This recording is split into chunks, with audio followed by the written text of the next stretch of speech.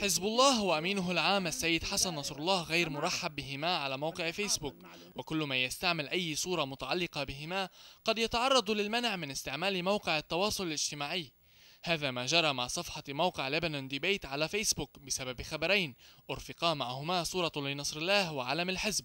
أول مرة حطينا الصورة جانا آه انذار انه لازم نشيل الصورة شلناها. بنتفاجئ إنه بيجينا بدون انذار منعونا بقى نحط شيء بقى على الصفحة. صارت الصفحه unpublish يعني ما فينا نحن بقى نحط آه أي شيء على الصفحة. ما بعرف إنه على أي أساس اعتمدتها شركة الفيسبوك.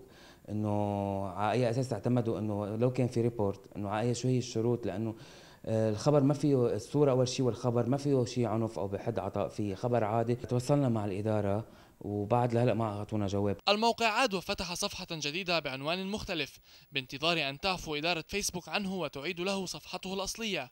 فهل انتقلت الرقابة العشوائية إلى فيسبوك؟ وهل قلت لي حرية؟